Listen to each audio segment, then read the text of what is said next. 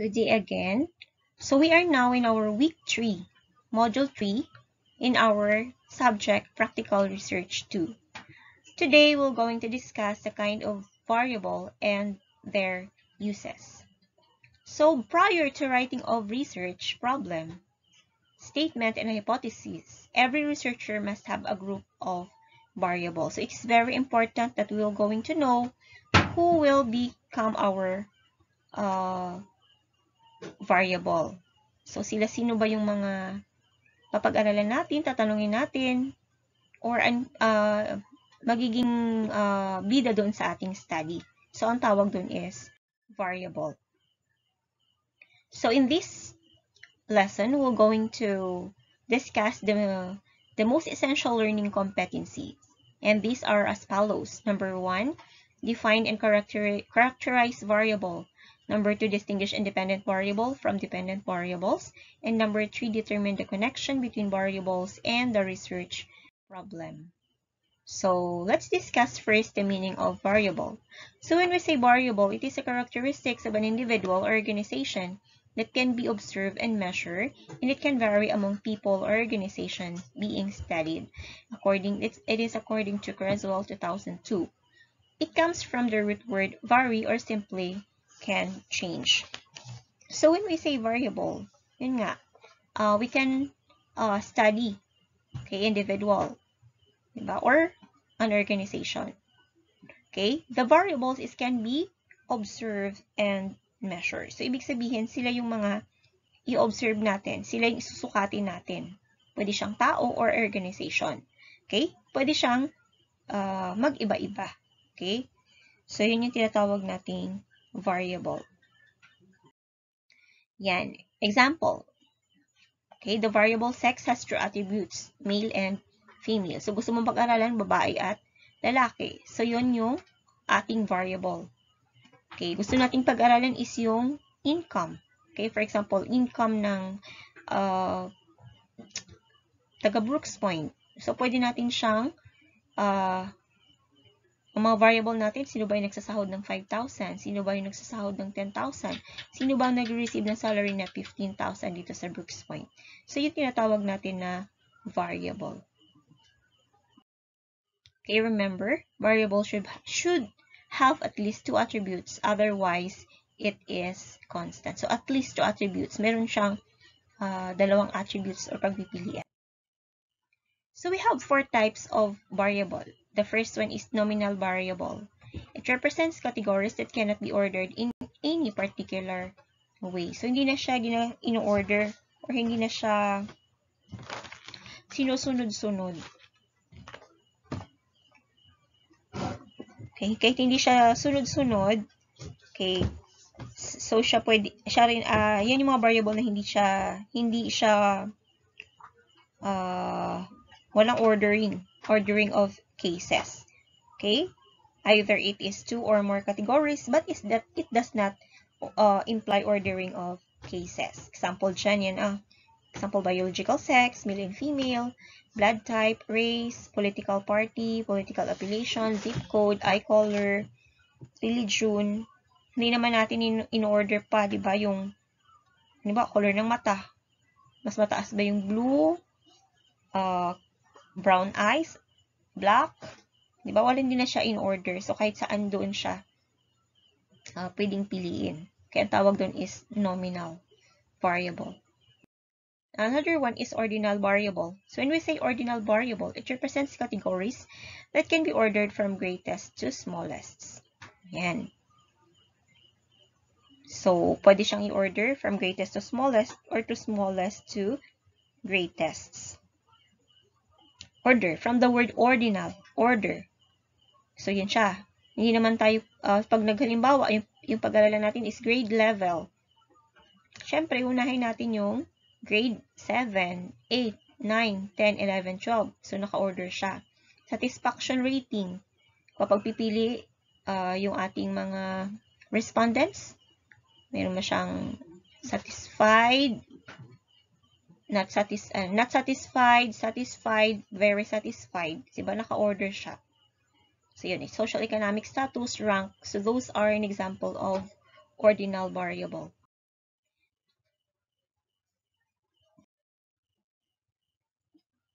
Another one is interval variable. So when we say interval variable, it has values that lie along with an evenly dispersed range of numbers. Yan. Pag sinabi natin employee net worth, pH level, body temperature, SAT score, 2,200 to 500. Meron siyang sa gitna. Okay, for example, body temperature from 36 to 40.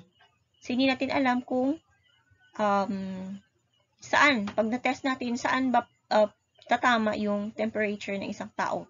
Sa 36 ba, 37, 38, 39, 40. Okay, so kaya tinatawag siyang interval variable. Page level. Okay, may mga, hindi ko alam kung anong page level, di ba? So, yung kapag tinetest, so from, uh, hindi alam kung saan lalabas, kung anong klaseng page level ng tao.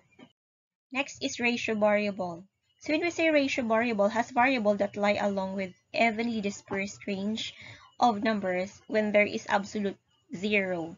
It possesses the properties of interval variable and has clear definition of zero. So when we say ratio variable, uh, mayroon siyang clear definition of zero. So tinatanggap niya kahit zero yung uh, measurement. Okay? So, yun siya. Example, dose amount, concentration, weight, distance, reaction rate, flow rate, pulse rate, length. Okay, so ba, pulse rate, zero, wala ng pulso. Okay, so kasama siya sa ratio variable.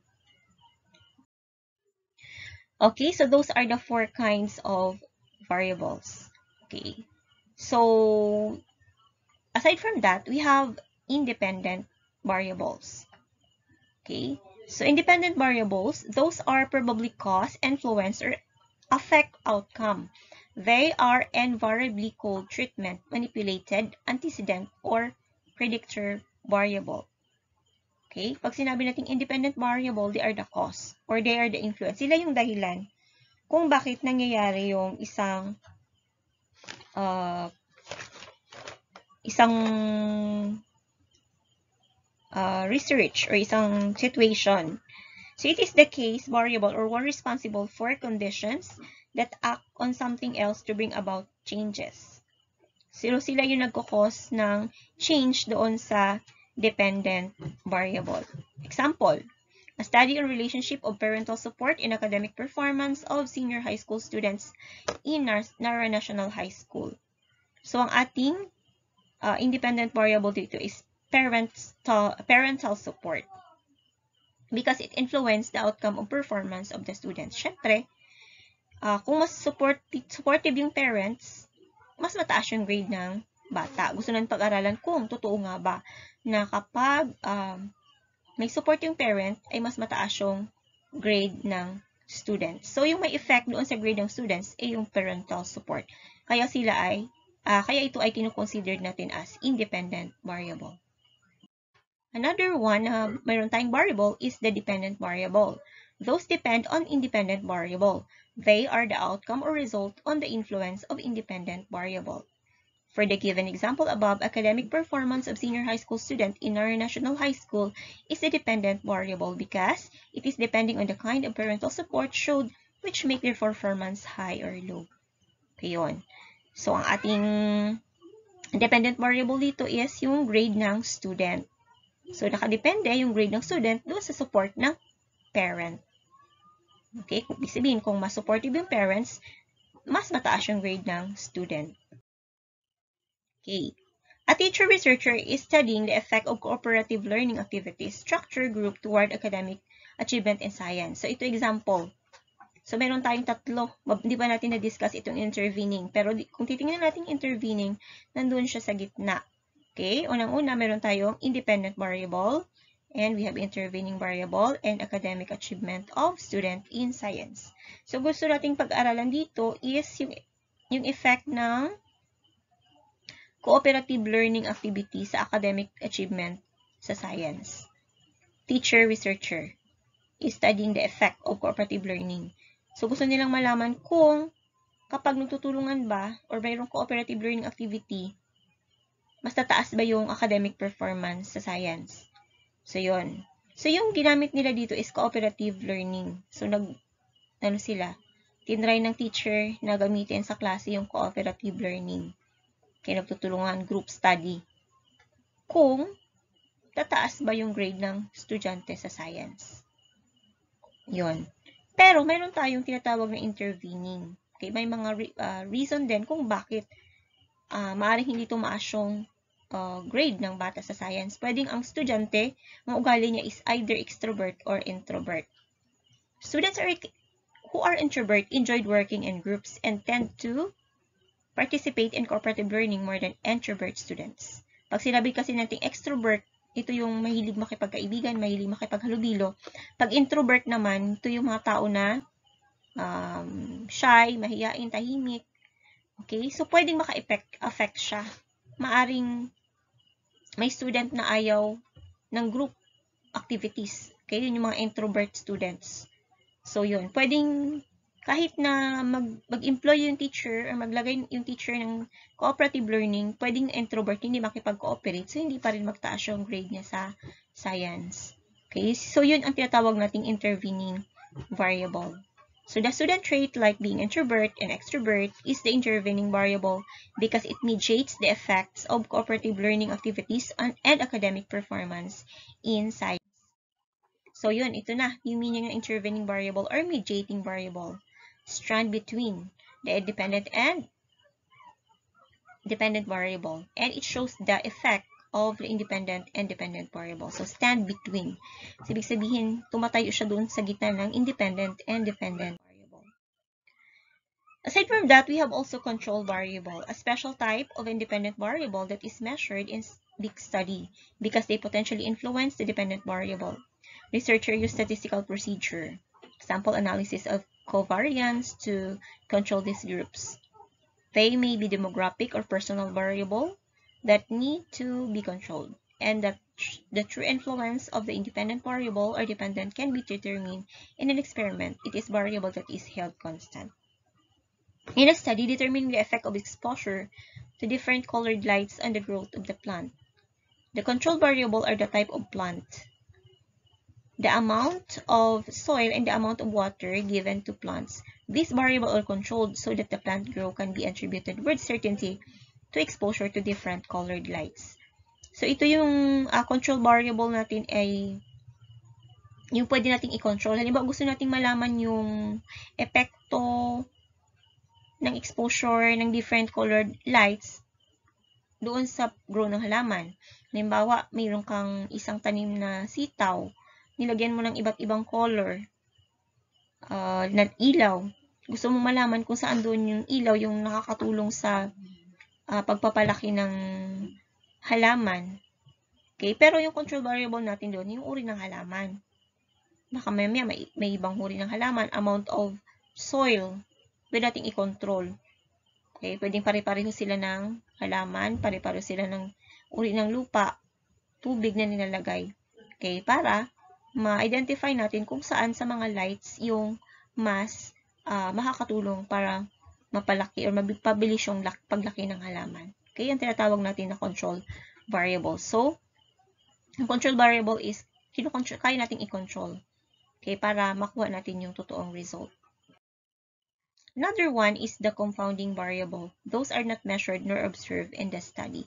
So, ito yung mga variable na ito, yung hindi natin nasukat at na-measure sa study. From the given example, academic performance of the student in Nara National High School is dependent because it depending on the kind of parental support showed.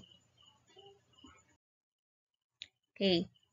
So yun, let's uh, try this uh, exercise. Identify the level of measurement involved in the following research situation. Use the following code. So we have nominal, ordinal, interval, and ratio. Ratio. Number one is the top 10 songs for the week. Bakit siya ordinal? Kasi top 10, 1, 2, 3, 4, 5, 6, 7, 8, 9, 10. Alamin natin kung ano ba yung top 1 na song, top 2, top 3, top 4. Kaya siya ay ordinal. So, meron siyang pagka-sunod-sunod. Number 2, fashion designer shares the top most famous fashion statement for the year. Top 10 pa rin. So, kaya siya, tinatawag, kaya siya ay ordinal variable. Number 3, Mrs. Gabayon STEM 11 advisor survey her her students' health status, whether it's normal, overweight, obese, wasted, or severely wasted. So, siya ay nominal. Kasi, uh, hindi natin alam kung hindi naman siya natin pwedeng i-order. Okay, wala siyang, ano nga kanina yung nominal variable, wala siyang ordering of case. Number four, Miss Rhea, the doctor secretary determines the weight of the baby being brought to the clinic for treatment. So, ratio variable siya. Weight. Diba? Kaya ratio siya.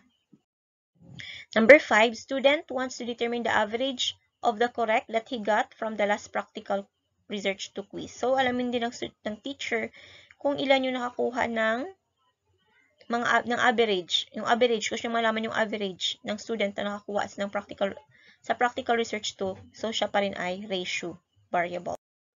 Number 6, the researcher want to find the number of hours na senior high school students spend using social media. So, gusto niya malaman ratio din kung ilan yung number of hours. Vegetarian assistant records the breeds of dog that are brought for treatment in the veterinar veterinar veterinary clinic. So, letter A. Ano na yung letter A? That is nominal variable. Number 8. You should like to find out the number of minutes it takes for each member of the class to go from their respective house to school. Gusto mo malaman yung gaano kalayo yung, ilang minuto ba yung ginugugol ng estudyante uh, sa pag punta sa paaralan. Okay, galing sa kanilang bahay. So, ratio pa rin. Ratio variable. Number 9, a teacher asked the class about the degree of difficulty. Easy, moderate, or difficult sa student. Saan mahirap ba, madali? Gusto niyong i-research yung kanyang exam sa math. So, yan ay ordin ordinal kasi pwede silang in order siya mula sa easy, moderate to difficult. Number 10, a geologist from the Philippine Atmospheric, Geophysical, and Astronomical Services Administration, pag-asa determines the daily temperature for June. So, siya ay ratio variable.